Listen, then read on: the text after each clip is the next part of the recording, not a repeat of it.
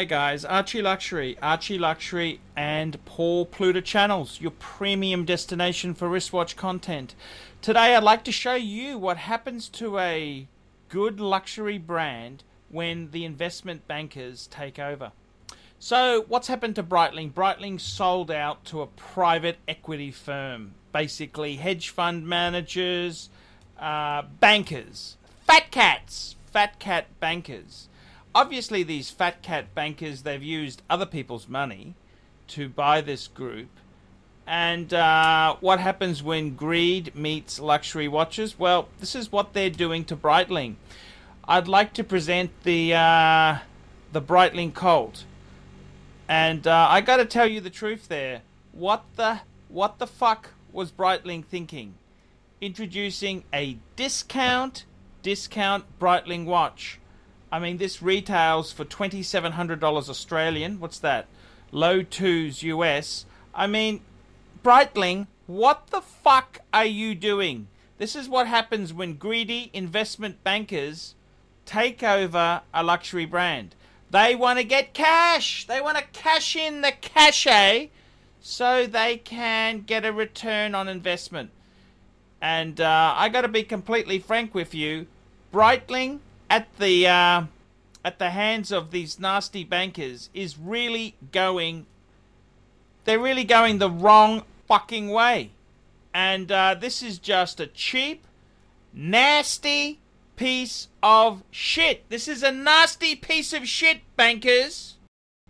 And I got to be completely honest with you. Breitling had had uh, accepted a partnership with Rolex. That's right, Rolex's uh, sister brand Tudor.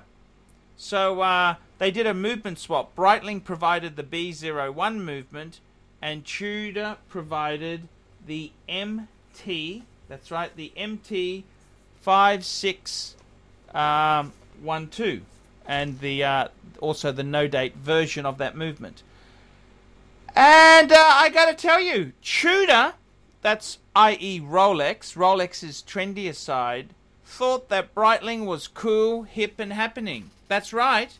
So, um, you know, that the, the, the, Breitling is doing things right. I mean, to go into a partnership with essentially Rolex is a pretty damn amazing achievement. And uh, I gotta tell you the honest truth, it's just fucking crazy when these stupid, greedy, fucking investment bankers, these fucking investment fools, come out and start spruiking and start fucking up the formula. I mean, releasing a piece of fucking black plastic shit as a luxury watch, man. Do you fuckers have no sense? Do you fuckers have no sense when it comes to brand management? Do you want to lose all the money you've put in? Oh, that's right. It's not your money. It's other people's money. And uh, I, I, I just, I'm absolutely shocked with what Breitling has been up to. They were admired by Rolex. Rolex thought they were good enough to form a partnership. So they sell out to the investment bankers, and the investment bankers, well, I gotta tell you the truth, that may work. You may fuck over the American taxpayer, the Fannie Mays of this world. You may fuck over the uh, the American mortgage consumer, but you don't fuck over the luxury watch market. That's right. I'm I'm predicting bad things. Bad things are going to happen to um bad things are going to happen to Breitling because they're a bunch of fucking morons. These investment bankers. It's uh yeah, I gotta tell you guys, I think you're fucking stupid. The only thing more stupid than releasing a budget price, um, budget price Breitling would be to, uh, fuck with the Navitimer. Yeah, that'd be the most stupid thing if you fucked with the Navitimer. And the only thing I think uh, these investment bankers could do worse would be to. That's right, it's just hit the press, all the wristwatch press. Um, would be to muck around with that Navitimer, the icon of the range. And uh, sure enough, that's exactly what Breitling's done. And this has happened under the new command, the investment bankers. They want a return on investment. They don't want to be mucked around. No, no, Mr. Wall Street, Mr. Wall Street. We want a return. We want a return. We want a very, very quick return. So they have redone, completely redone, the Breitling Navi timer itself there. And uh, I gotta tell you there itself, it's uh, what do you say when when Breitling does such a thing? It's uh, I think it's I think it's kind of um, I think it's kind of dumb. That's what I think. I think what Breitling is doing is very very dangerous. It's dangerous. And um, you know, I got to be honest with you. I really, I've I've come into the Breitling brand, and it's the traditional Navi timer. That's the one that I I really do love. It's the traditional Navi timer. I don't mind the Navi timer GMT. I don't mind the Navi timer. Uh, you know the different variations that they've they've done there, but why would you stuff up something so iconic?